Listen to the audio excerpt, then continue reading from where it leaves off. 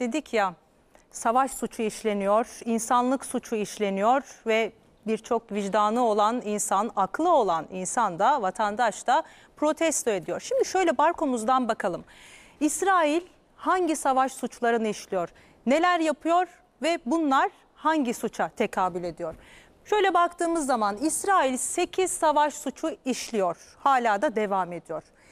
Birincisi zorla göç ettirme Cenevre Sözleşmesi 4. Maddesi, maddeye göre 1,5 milyon Gazze'li yerlerinden edildi.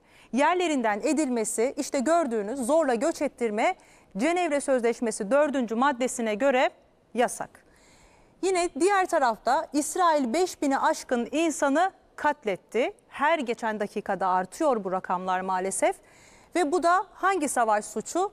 Toplu cezalandırma yine Cenevre Sözleşmesi 33. maddeye göre.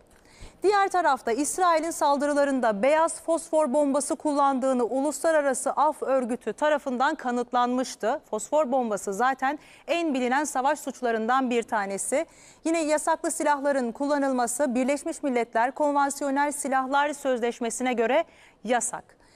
İsrail Gazze'de mülteci kamplarını, toplanma alanlarını vurmaya da devam ediyor. Bu da yine mültecilerin hedef alınması yine Cenevre Sözleşmeleri ek protokolde yasak olarak bildirildi.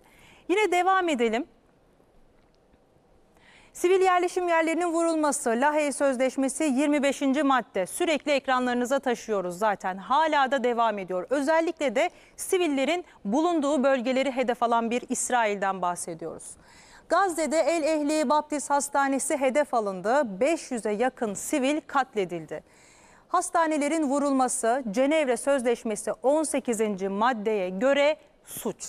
İsrail Gazze'ye insani yardımların girişine izin vermiyor, aynı zamanda kısıtlıyor. Bu da yardımların engellenmesi Cenevre Sözleşmesi 23. maddeye göre suç. İsrail 7 Ekim'den bu yana cami ve kiliseleri hedef aldı. Bu da dini mekanların bombalanması Lahey Sözleşmesi 4. maddesine göre savaş suçu olarak sayılıyor. Kanıtlar burada. Sürekli söylüyoruz İsrail, Netanyahu savaş suçu işliyor, insanlık suçu işliyor. İşte bunlar da kanıtı sevgili izleyenler. Ve İsrail Gazze'de 7 Ekim'den bu yana dünyanın gözü önünde bir soykırım gerçekleştiriyor. Savaş suçu işleyen İsrail'in normal şartlarda Uluslararası Ceza Mahkemesi'nde yargılanması gerekiyor. Hepimizin kafasındaki soru işareti de bu aslında. Peki yargı süreci neden işlemiyor?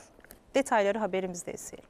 Aslında burada bir seri cinayetlerden de bahsedebiliriz. Uluslararası hukuktaki karşılığı açık olarak bir savaş suçudur. Özellikle başta siyasi mekanizma olarak Birleşmiş Milletler Güvenlik Konseyi'nin acilen devreye girmesi gerekir.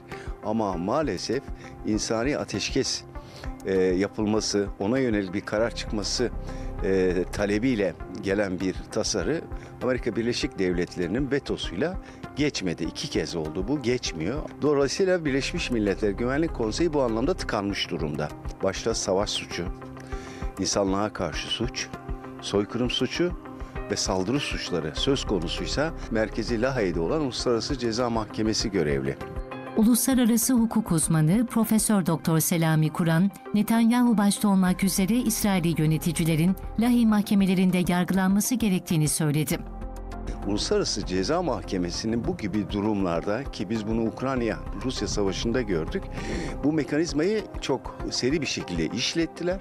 Ukrayna'nın başvurusu üzerine Rusya aslında Uluslararası Ceza Mahkemesi'nin yetkisini tanımamasına rağmen suçlar Ukrayna'da işlendiği için Putin hakkında, Rusya Devlet Başkanı hakkında bir tutuklama kararı çıkarıldı. Ama burada söz konusu İsrail olunca adeta bütün uluslararası sistemin bu konuyla ilgili bir şekilde işletilmeyerek, ağırdan alınarak süreç uzatılıyor. İsrail uluslararası arenadan en çok ABD ve İngiltere'nin desteğini alıyor. Profesör Doktor Selami Kur'an şu anda İsrail'e karşı imtiyazlı davranılsa da yargılama sürecinin mutlaka gerçekleşeceğini söyledi. Mutlaka İsrail'deki bu devlet e, ve ordu yöneticileri hakkında, üst düzey yöneticiler hakkında savaş suçu, insanlığa karşı suç ve soykırım e, potansiyeli olan suçların araştırılması ve yargılamanın yapılması gerekecektir. Ama önemli olan husus bu sürecin hızlandırılmasıdır.